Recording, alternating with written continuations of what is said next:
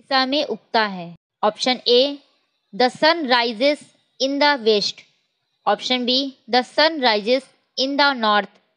Option C the sun rises in the east.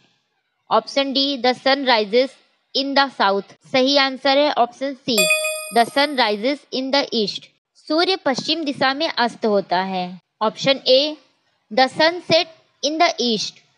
Option B the sun set in the west.